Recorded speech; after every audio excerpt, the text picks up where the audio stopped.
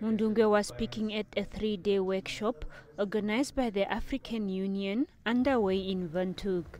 The workshop is part of creating awareness of the migration policy framework and plan of action for AU member states. Attended by different member states, the workshop will work on increasing the knowledge level on the migration governance and the connection between migration and development. Despite the numerous uh, challenges uh, facing the continent in the area of migration, the continent is mindful that if managed in a coherent manner, nations and regions can reap the benefits of the linkages between migration and development as the continent strives towards the ideals of Agenda 2063 and Sustainable Development Goals.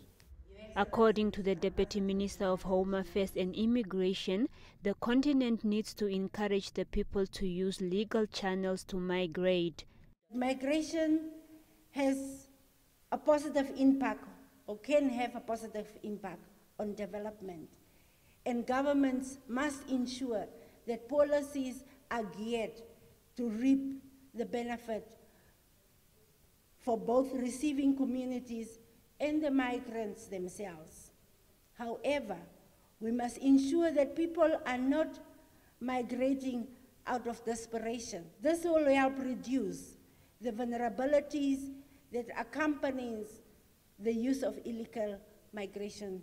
Namibia is currently hosting more than 7,000 refugees and asylum seekers, including the inactive refugees.